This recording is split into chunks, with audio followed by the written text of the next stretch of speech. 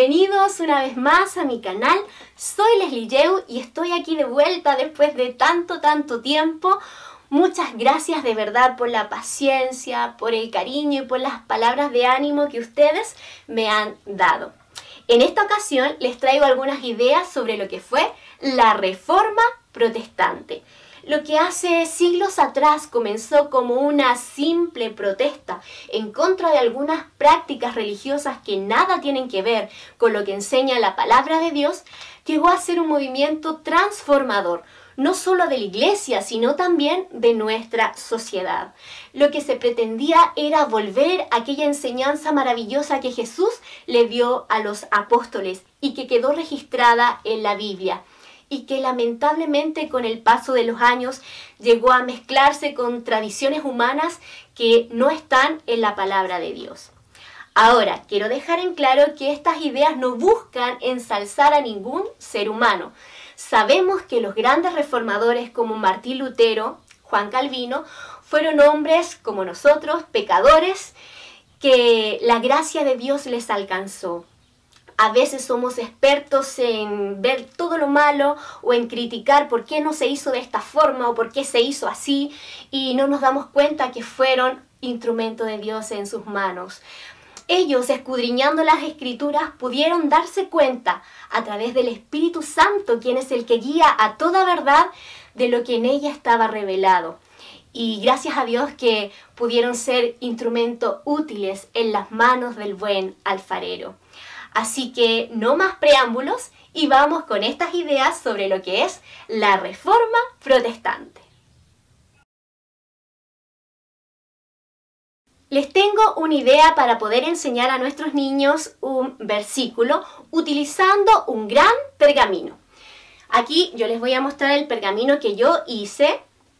Aquí lo tengo con el material que ustedes saben que a mí me gusta utilizar, que es el paño lenzi o fieltro, como se conoce en otros lugares. ¿Cómo lo hice? Con dos tubos de PVC que los pinté solamente en las esquinas con un spray de color café y para darle el toque de pergamino les puse una esponjita que también lo pinté con el spray de color café y le puse una cinta para colgar el pergamino. Ahora por todo el borde lo pinté con pintura para tela de color café, un poquito más claro, para dar esa apariencia de un pergamino antiguo. Recuerden que en esa época se escribía en, en hojas y también con pluma y tinta, así que para que los niños puedan ambientarse más o menos de lo que fue esa época. Voy a colgar aquí mi pergamino y el versículo que elegí en esta ocasión está en Romanos 1, 17, pero la parte B.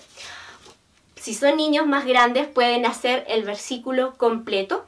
Y este versículo lo escribí en unas hojas simples, con, también con forma de pergamino y por frases para que los niños se los puedan aprender más rápidamente. Ahora para poder pegarlo a nuestro pergamino de fieltro, le puse por el otro lado un pedacito de velcro, ahí se ve, para que se pueda adherir a nuestro gran pergamino. Así que podemos ir enseñando por frases. Vamos a ver. Comienza como está escrito. Más el justo por la fe vivirá. Y esto se encuentra en Romanos 1.17. Luego los niños pueden ir repitiendo el versículo y nosotros podemos ir quitando algunas frases para que ellos puedan memorizar. Por ejemplo, como está escrito, le quito esto y los niños continúan repitiendo el versículo, así voy sacando hasta que ellos logren aprender completamente este versículo que se encuentra en Romanos 1, 17b.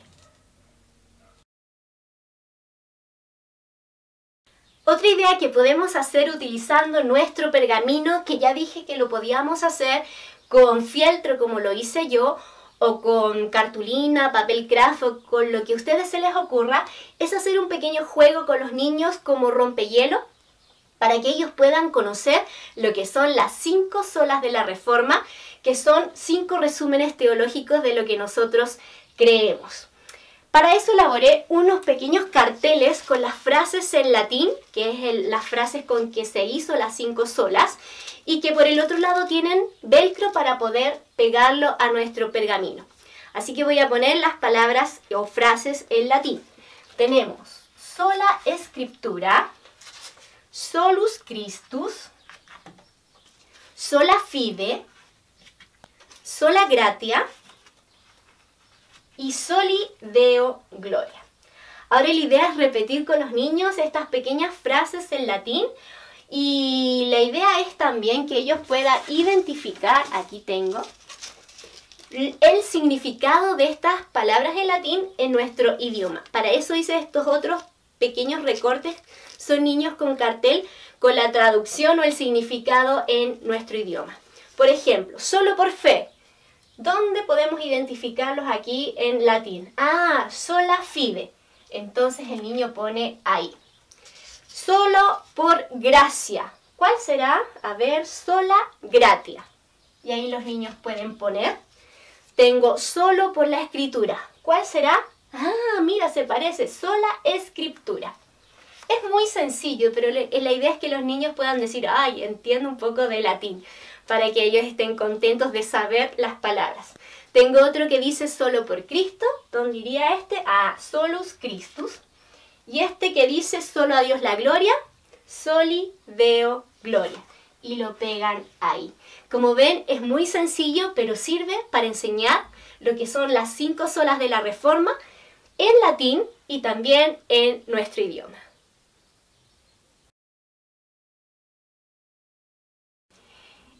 Esta idea es para enseñar a nuestros niños el significado de los cinco solos de la Reforma. Para eso yo elaboré seis cuadraditos que ustedes van a ver en qué van a consistir y cómo podemos explicar a nuestros niños lo que significan estas cinco solas. Comenzamos.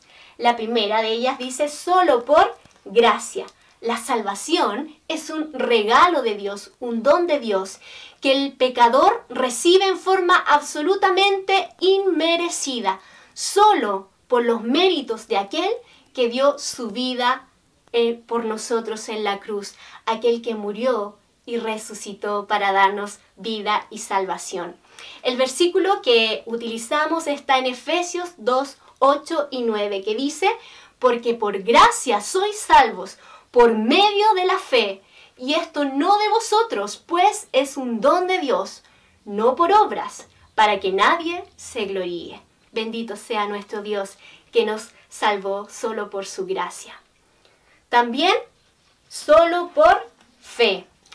Solo por la fe en aquel que dio su vida por nosotros, en nuestro Señor y Salvador Jesucristo, es por la cual alcanzamos la salvación. Hay un versículo en Romanos 3:28 que dice, concluimos pues que el hombre es justificado por la fe, sin las obras de la ley, justificados por la fe en Cristo Jesús. La salvación es también solo por Cristo. No hay otro camino para llegar a Dios. No hay otro mediador entre Dios y los hombres, solo Jesucristo hombre. El apóstol Pedro fue claro en decir en Hechos 4:12, y en ningún otro hay salvación, porque no hay otro nombre bajo el cielo dado a los hombres en que podamos ser salvos. Y esto lo encontramos solo en la escritura. La Biblia es nuestra regla, nuestra norma de fe y conducta. No hay nada que quede a nivel de las escrituras. No hay tradiciones humanas que sean iguales o superior a lo que dice la palabra de Dios. Y nosotros sabemos que este libro fue un libro especial, inspirado por el Espíritu Santo de Dios. En versículo en segundo de Timoteo 3:16 que dice, Toda la escritura es inspirada por Dios y útil para enseñar, para redarguir, para corregir, para instruir en justicia, a fin de que el hombre de Dios sea perfecto, es decir, maduro, enteramente preparado para toda buena obra. Y por último, el propósito de nuestra salvación es dar solo a Dios la gloria. Fuimos salvados para glorificar con nuestra vida el nombre de nuestro Dios. Es nuestro privilegio obedecer su palabra, es nuestro privilegio alabar y honrar a aquel que murió por nosotros, porque solo Dios merece toda la gloria y honra. Y hay un versículo en Efesios 3:21 que dice, a Él sea la gloria en la iglesia, en Cristo Jesús, por todas las edades, por los siglos de los siglos. Amén.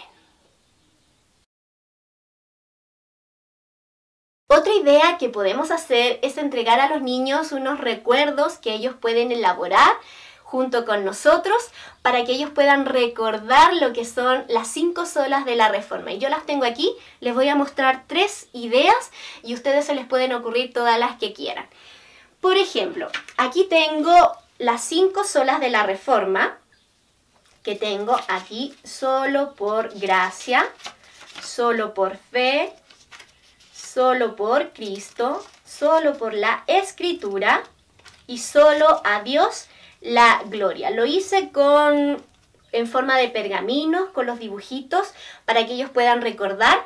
Le puse este chinche que se conoce como chinche mariposa, que es el que tiene unas patitas y se puede poner así, para que se pueda, ellos puedan ir moviéndolo más fácilmente. Les puse una pequeña cuerda para que ellos puedan colgarse al cuello y tener aquí el recuerdo de las cinco solas de la reforma. Otra idea es elaborar junto con ellos unas pulseras que también tienen las cinco solas de la reforma escritas en ella o ellos los pueden escribir ellos mismos, intentar escribirlo con tinta, con pluma o como ustedes se les ocurra hacer. Y le puse velcro para hacer como una pulserita que ellos puedan poner y llevarse a sus casas como un recuerdo. Y por último, tengo esta bandera cristiana que también en forma de pergamino tiene las cinco solas de la reforma con los versículos correspondientes. Como ven, dejar un buen recuerdo a los niños sobre lo que significa esto es muy fácil y solo tengo aquí tres ideas, pero ustedes pueden desarrollar muchas más.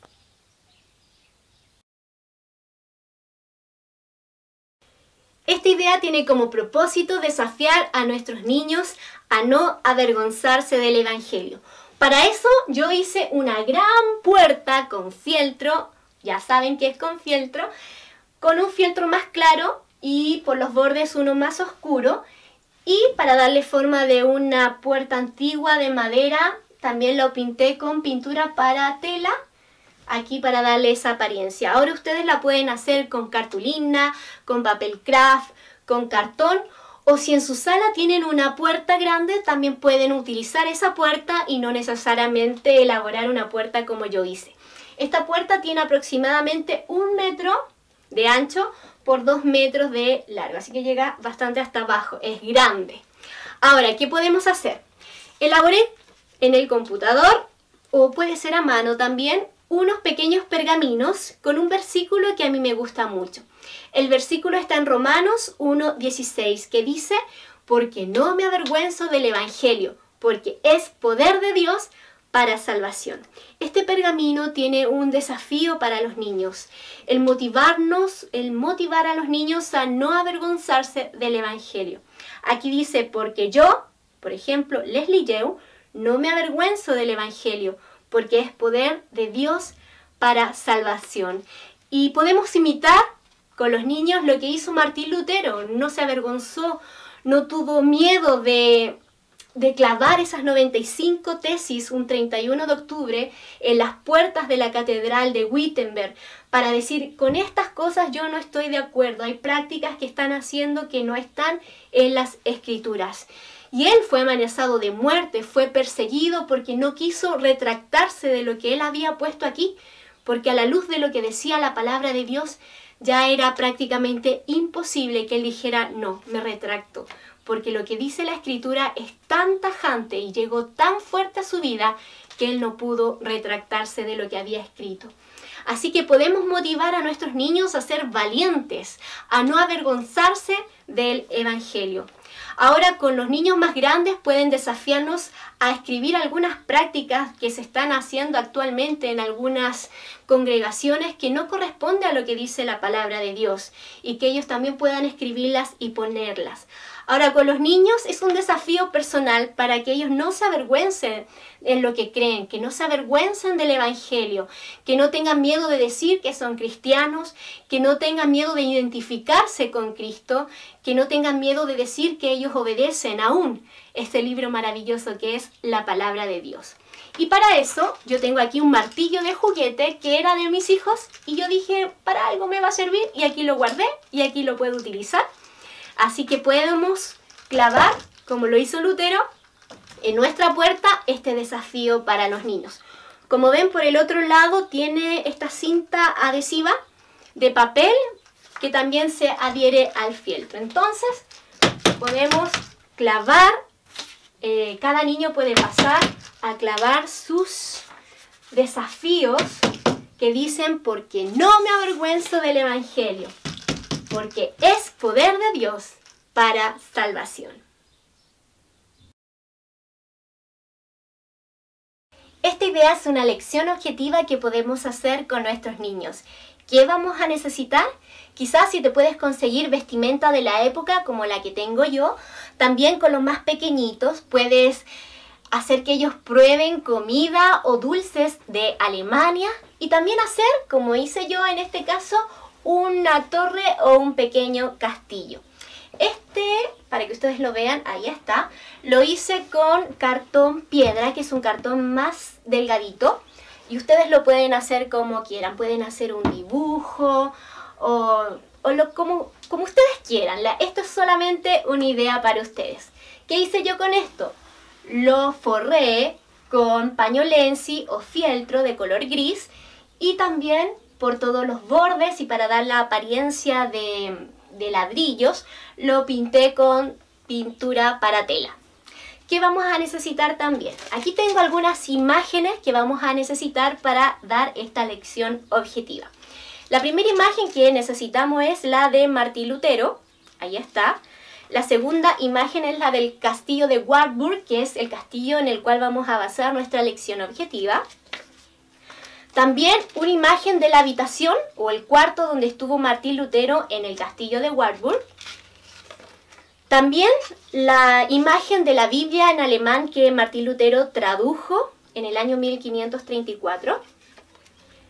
Y aquí tengo una imagen de una Biblia que dice Salmo 46, que es el versículo en el cual se va a basar nuestra lección objetiva.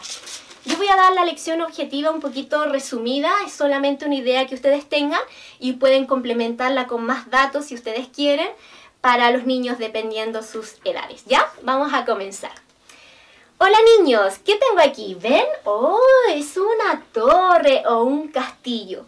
En el día de hoy yo les voy a hablar de alguien que estuvo viviendo durante algún tiempo, algunos meses, en un castillo.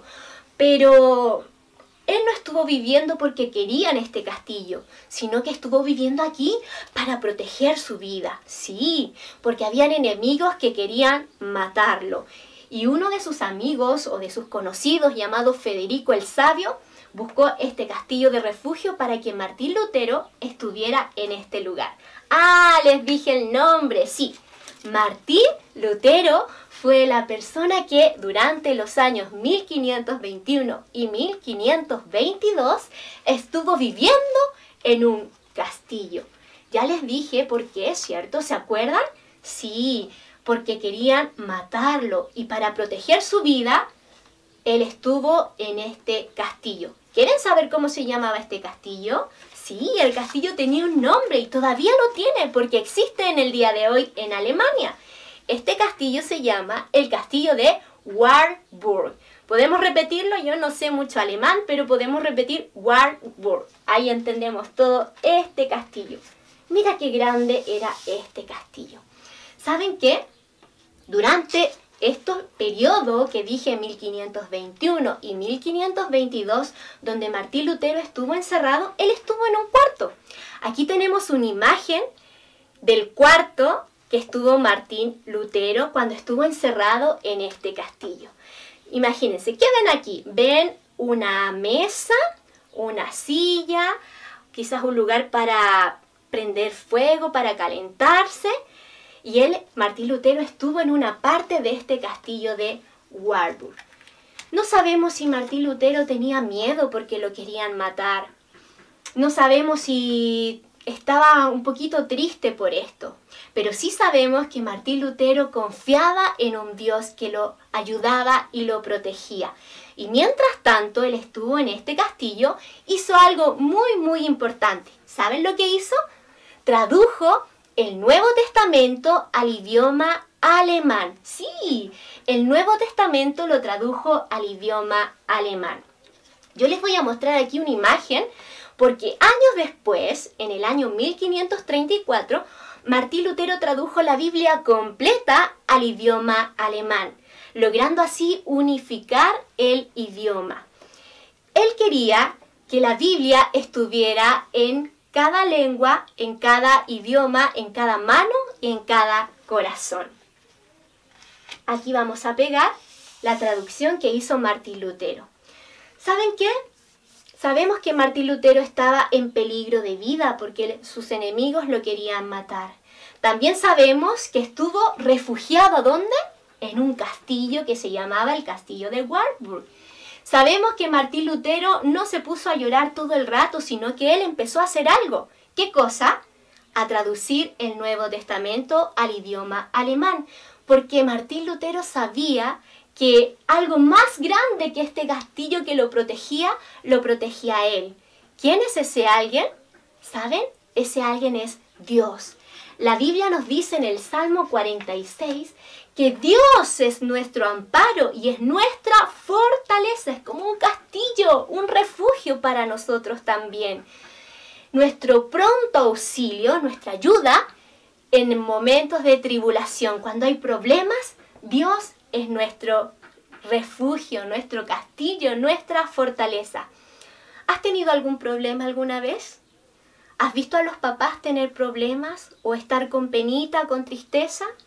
¿O a veces hay enfermedad? ¿Sabes qué? Al igual que el castillo de Warburg sirvió de refugio a Martín Lutero, nosotros, los cristianos, los que creemos en Dios, tenemos un refugio muy grande y ese refugio es nuestro Dios. ¿Qué debemos hacer nosotros? Confiar que Dios es nuestro castillo fuerte, que Dios es nuestro refugio y que Dios es nuestra gran fortaleza a la cual podemos acudir en los momentos difíciles.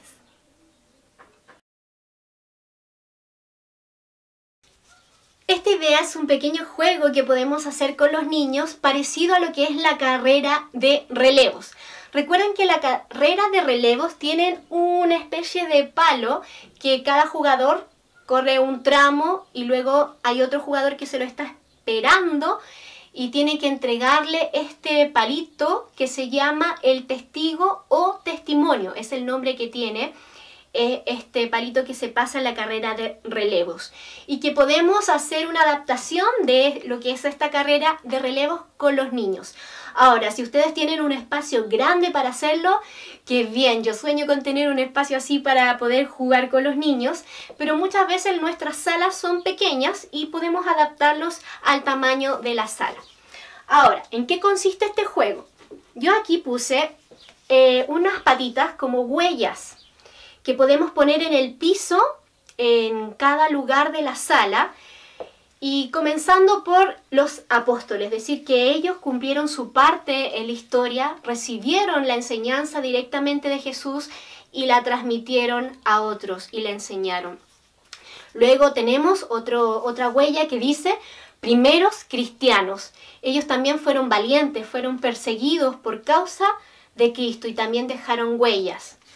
Luego pasamos a algunos pre-reformadores como John Wycliffe o Juan Hus, que también fueron hombres valientes que antes de la reforma ellos ya habían dicho que la Biblia era importante y que se estaba dejando de lado y había que volver a la enseñanza de la palabra de Dios.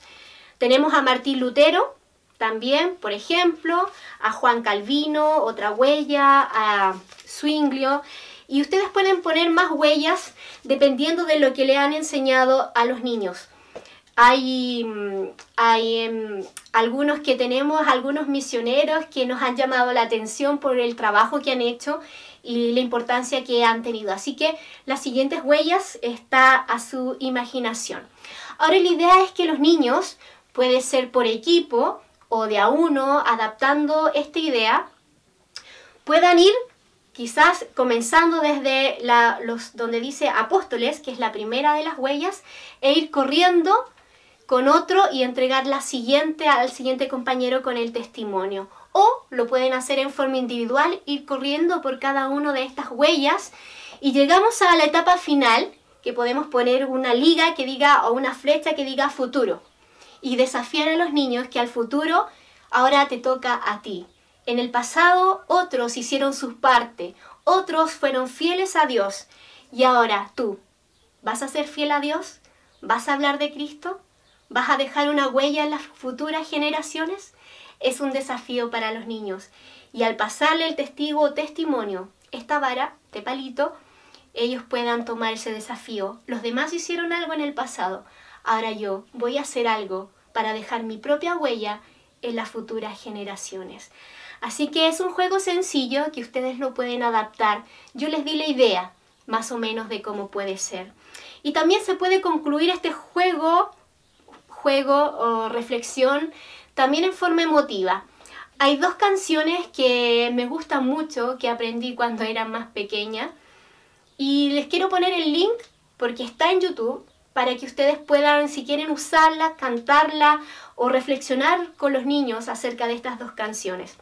La primera es Fieles, que dice que nos puedan recordar, pues fuimos fieles y que nuestra devoción les dé el valor a otros, que las huellas que han de ver les animen a creer, que nuestro ejemplo les motive a obedecer, que nos puedan recordar, pues fuimos fieles. Y otra de las canciones que me gusta mucho, que también puede servir para este tiempo, es una que dice lealtad o fidelidad al Cordero, que en una parte dice al Cordero siempre fiel seré con mi fuerza y todo mi ser, buscaré honrarlo solo a Él. Al Cordero siempre fiel seré. Estas dos canciones se las recomiendo para que puedan concluir esta actividad que no solamente es una dinámica, sino también nos hace reflexionar qué vamos a hacer nosotros ahora con nuestro testimonio, qué huellas dejaremos. Los demás ya cumplieron su parte, ya sirvieron al Señor, ahora es nuestro turno para hacerlo. Espero de verdad que estas ideas hayan sido de bendición y que no solo sean ideas, sino que también nos motiven a seguir adelante en este siglo XXI en nuestro caminar cristiano. Que el ejemplo de aquellos que nos precedieron nos motive a ser fieles a nuestro Dios, que nos motive a obedecer su palabra y que nos motive a siempre, siempre darle toda la gloria a Él, porque Él es digno de toda gloria, honra y alabanza. Mientras tanto, yo me despido diciendo, y todo lo que hagáis, hacedlo de corazón, como para el Señor, y no para los hombres.